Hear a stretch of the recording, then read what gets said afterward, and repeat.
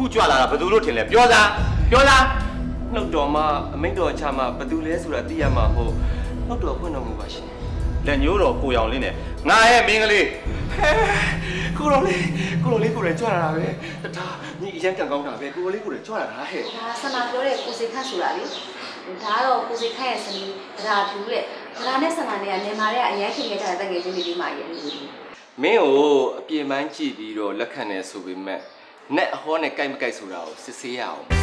မဟုတ်ဘူးလေဗျာကျွန်တော်ကခင်ဗျားတို့တတိယကိုဟန်ဆောင်ပြီးလက်ထက်မှာလေတတလုံးချက်ပြုတ်ပေးစရာမှမလိုတာ။အော်ဒါကတော့လူကြီးတက်တက်ဆိုဘာမှမဖြစ်ဘူးလေ။အခုကနဲ့ဟောချလို့မင်္ဂလာဆောင်ရမှာ